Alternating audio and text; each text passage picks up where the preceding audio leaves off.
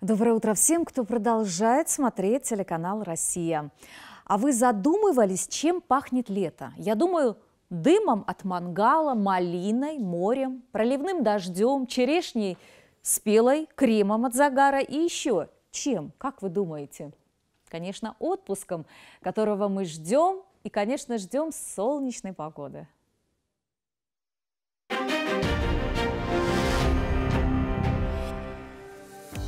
Карачаево-Черкесии кратковременный дождь, гроза, местами сильный, с градом и шквалистым ветром до 25 метров в секунду.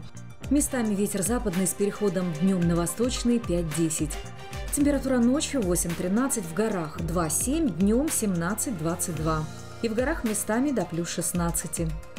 В Черкеске кратковременный дождь и гроза, ветер западный с переходом днем на восточный 5-10 метров в секунду. Температура ночью 11-13, а днем 20-22 градусов тепла.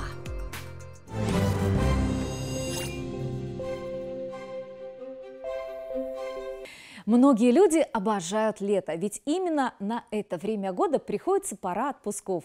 Одни отправляются в другие страны, другие предпочитают отечественные курорты. Ну а кто-то вообще остается в пределах своего города и довольствуется поездками на дачу. Но вне зависимости от места отдыха все обожают принимать солнечные ванны, кушать свежие овощи и фрукты. А другие, наоборот, избегают солнца, ищут прохладу.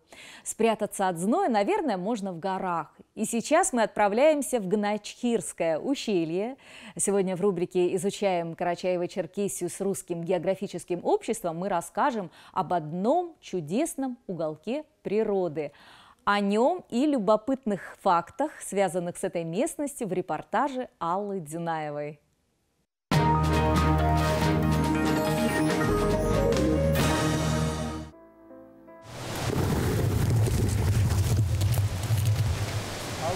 Вот и солнышко заглянуло в этот тенистый сказочный лес, где царит папоротник. В Гуначхирском ущелье есть загадочное место, где остаточное формирование горного рельефа образовали интересный ландшафт. В связи с последними сильными землетрясениями, особенно известное землетрясение 1802 года, но эти камни, конечно, сверху э, обвалились гораздо раньше. Примерно в середине 15 века. И сорвавшись вниз, эти огромные камни формировали своеобразный лабиринт, а климат здесь напоминает тундру и связан на это с особенностями этой местности. Впереди по солнцу у нас гора Бульген закрывает лучи солнца вот в это место, особенно в зимнее время, сюда даже лучик не попадает. Прямой луч не попадает. То есть зенит солнца настолько низок, что гора перекрывает. Из-за сырости, недостаточного количества солнца и наличия рядом реки образовалась здесь растительность, характерная для тундры. И можно увидеть в этом лесу мох норвежский, яловидный и обыкновенный. Ступаешь по земле, ощущение, как идешь по мягкому ковру, а образовался он из густой растительности. Еще одна интересная особенность здесь. Чувствуется какой-то странный и непонятный холодок. Прохладно, да? А здесь прохладней. Туда дальше прохладней, прохладней. Опять-таки разломы вечной мерзоты здесь недалеко под нами. Часть дороги по лабиринту мы уже прошли, но чтобы преодолеть весь этот путь, местами надо идти через сквозные пещеры. На улице жарко, здесь очень даже прохладно, свежо, а чтобы подняться, тут, видите, уже держаться, держаться за мох, чтобы не остаться там. Какое-то царство волшебное, да? Наблюдая этот необыкновенный ландшафт, различные растения, мы продолжаем свой путь. Ведь интересно и любопытно пройти его до конца. И вот впереди еще одна пещера. Она просторнее предыдущей. Еще с советских времен Альбек Аджиев работал в бюро путешествий и экскурсий. И оказывается, раньше туристы, идущие по 43-му маршруту через горы к морю, останавливались здесь на ночлег. Далее, как на перине, плюс спальники сверху. Комфорт. Да, ну за такая, такая романтика была. По пути в лесу нам встречались грибы, маховик, а вот и лисички. Далее направляемся за нашим гидом Алибеком Аджиевым, жителем Сибирды. Без него здесь легко заблудиться. Вы местные называете это место? Я называю из-за сказочности так Берендеевка. Наше небольшое путешествие в сказочный лес длилось не более 15 минут, но впечатления останутся надолго. Алла Динаева, Али Бастанов, Вести, Карачаево-Черкесия, Гоночхирское ущелье. А еще существуют виртуальные путешествия. Вот сидите дома на диване, выбираете страну и вперед наслаждаться красотой разных стран. Но не увлечемся мы еще больше социальными сетями. Сейчас без интернета практически невозможно представить свою жизнь. А как думают жители Черкеска? Постоянно. А вообще как жизнь изменилась в появлении интернета? Как считаете, люди? Ну, во многом стало проще найти информацию нужную. А так, конечно, очень много времени занимает зависимость. Я бы, конечно, избавилась частично. Ну, честно говоря, чрезмерно много, чем хотелось по провожу времени. Связано это непосредственно с общественной деятельностью, которой мы занимаемся э, с прямыми обязанностями по общественной палате и своим интересам. В день порядка, не знаю, 4-5 часов, если суммарно все сказать, время пребывания и только в социальных сетях – не говоря о других поисковых платформах, где черпаешь еще информацию дополнительную. Ну, хотелось бы уже снизить э, это время до минимума, ну, пока не получается. Когда свободное время есть, там, листаю видео, смотрю и все чисто. Ну, как ни с чем не связано, просто свободное время, когда есть, листаю и все. Крайне часто. В основном, разумеется, из-за развлекухи. Интернет, соцсети, YouTube – фильмы. Но что сказать могу еще, там же я пытаюсь и получить образование. То есть отойдя от старых норм, так сказать, того, как мы в колледже учились, ходили постоянно, сидели, учили то, что нам прививают. Я от этого отошел и принципиально ищу то, что мне нужно. Это что касается интернета. Ну, наверное, в год минут 10, не более. Ну, бывает э, погоду, погоду, там такие вопросы. А так не пользуюсь. Наверное, больше с учебой. И как часто вы смотрите, что такое учеба?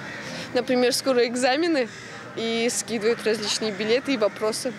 И мы готовимся. Связано с работой. Провожу, наверное, пару часов в день. А вообще э, вот э, с появлением интернета как-то проще стало или? Может, Конечно, очень много информации, уже очень, можно, можно легко и быстро найти то, что нужно, интересующую информацию. Ну, конечно, упростилось все.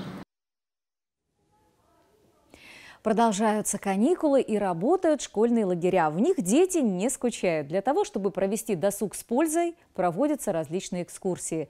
В первые дни каникул дети посетили Республиканскую детскую библиотеку имени Сергея Никулина. Для них библиографы организовали интересную и разнообразную программу. В гости вместе с детьми отправилась и Альбина Ламкова. Доброе утро! Сегодня мы в гостях в Республиканской детской библиотеке имени Сергея Никулина. Для детей из пришкольных лагерей города Черкеска организовали увлекательные занятия. Дружба – это не работа, дружба – это не работа. Есть друзья, а для них у друзей нет выходных. Детей поздравили с началом летних каникул. Предупредили, что день, проведенный в библиотеке, будет не только познавательным, но и веселым.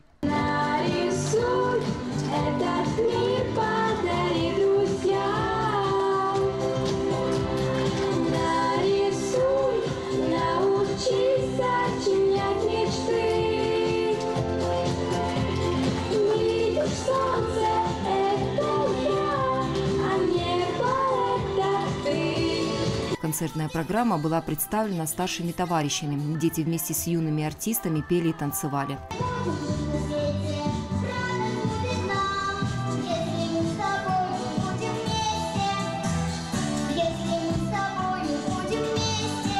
В этот день вспомнили и творчество великого русского поэта Александра Пушкина. В выходные дни отметили очередной его день рождения. Ведущие рассказали мальчишкам и девчонкам интересные факты из его жизни и процитировали строки из известных сказок.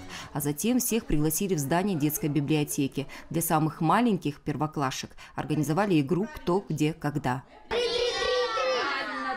Раза. Я пришла в первый раз. Я знаю не очень много творчества Александра Сергеевича Пушкина. А что ты знаешь из его творчества? Какие сказки? Лукоморье, дуб зеленый, золотая рыбка. В другом кабинете для детей провели познавательную викторину. Школьники активно отвечали на вопросы по творчеству Александра Пушкина. Рассказывали стихотворения и отрывки из любимых сказок. Море, дуб зеленый, золотая цепь над дубитом. И днем, и ночью кот ученый все ходит под кругом. Ветер, ты могуч, прогоняешь стаи туч, не боишься никого, кроме Бога одного. Для всех детей в дни школьных каникул будет организована познавательная игровая программа. Детей будут знакомить и с литературой, и, ну, и по краеведению, и по истории, и э, по экологии, э, разнообразные квесты, викторины. Дети будут решать ребусы, ну и, конечно, смотреть мультфильмы, э, по ним отвечать на какие-то вопросы. Мы приглашаем всех, не только участников школьных лагерей. У нас есть программа летних чтений, и каждый, кто любит читать или не любит читать, но хочет научить своего ребенка читать, найдет программу по интересам.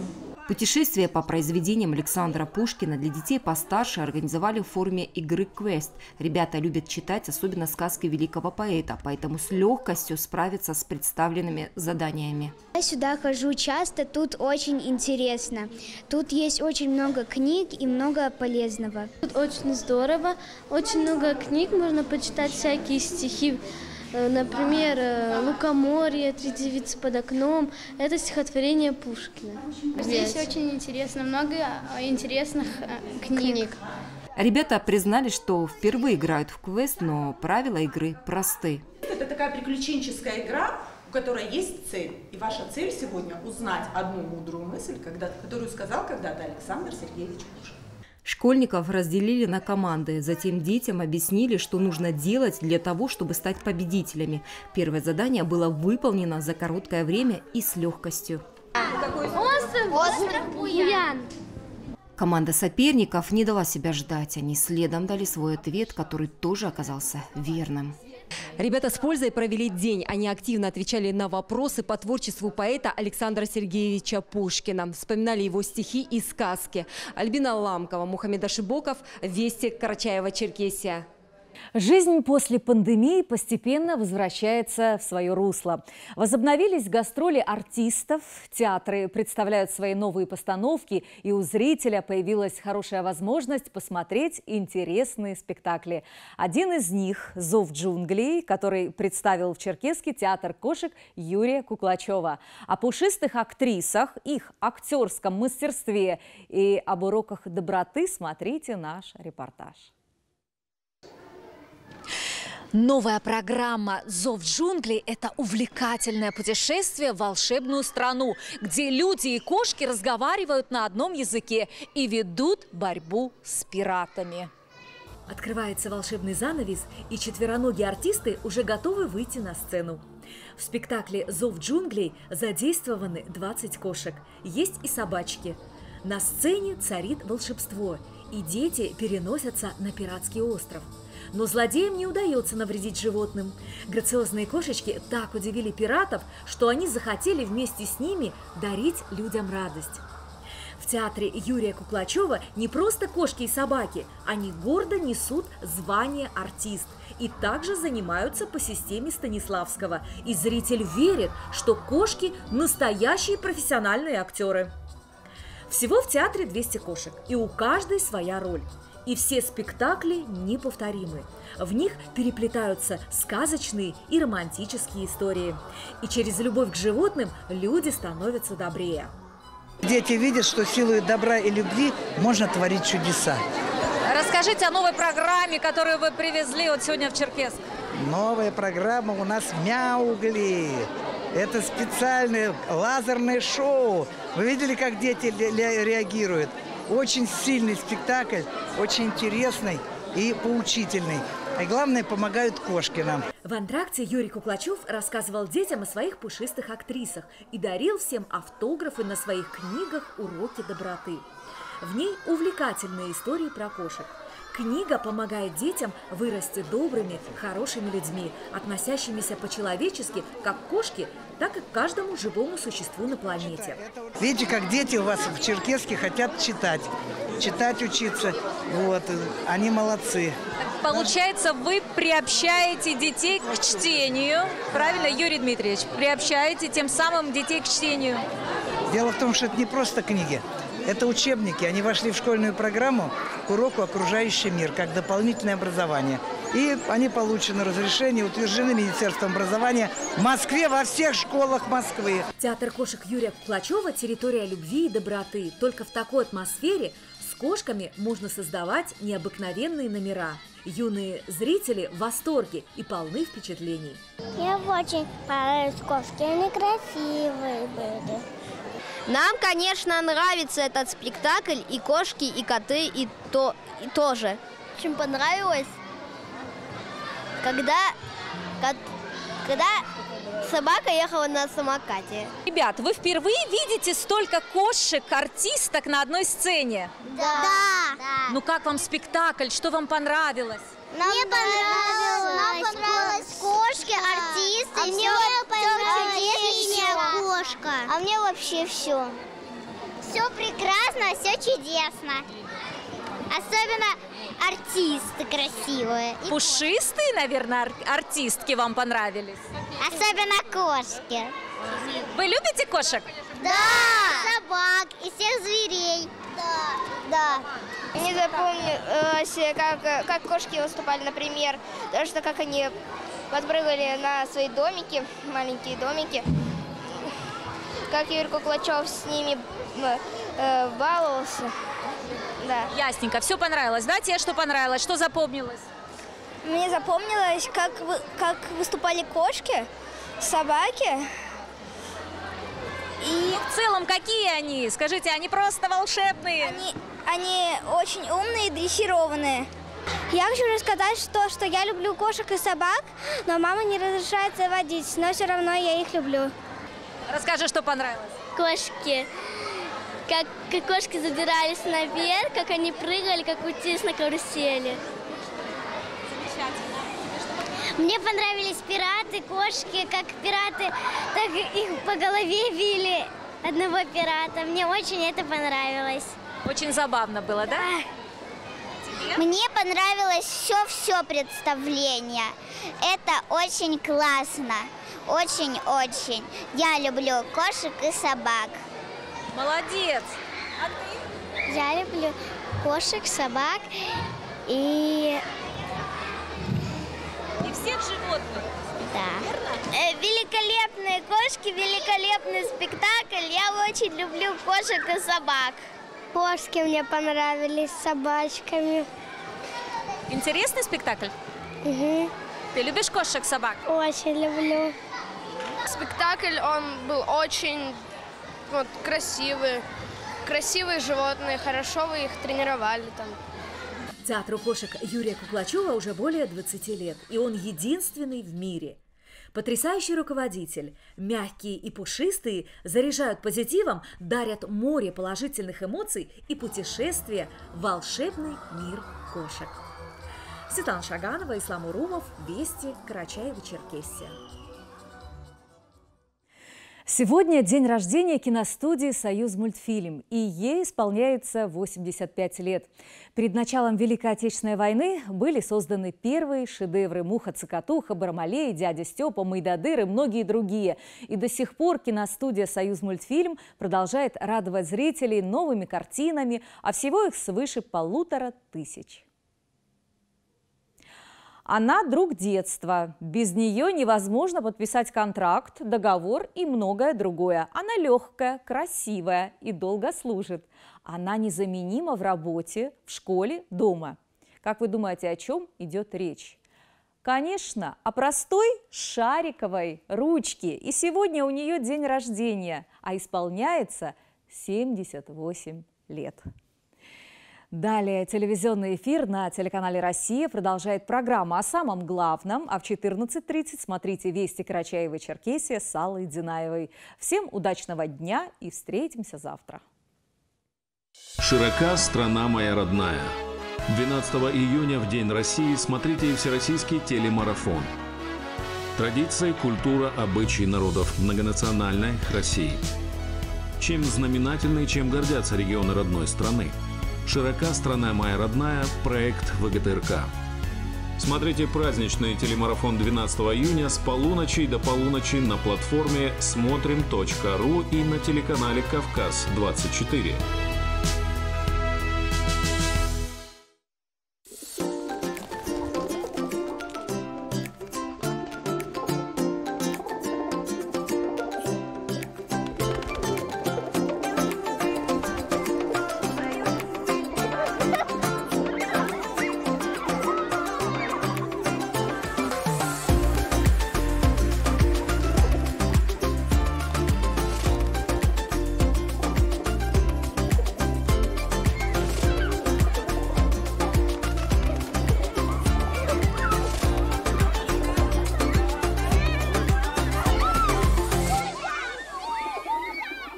Утро – это прилив бодрости и желания творить.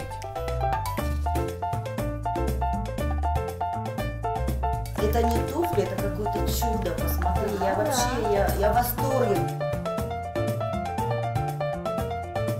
Эти сережки сегодня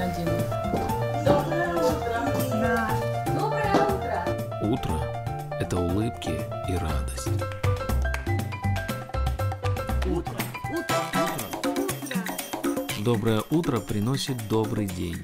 Не пропустите «Утро России» Карачаево-Черкесия.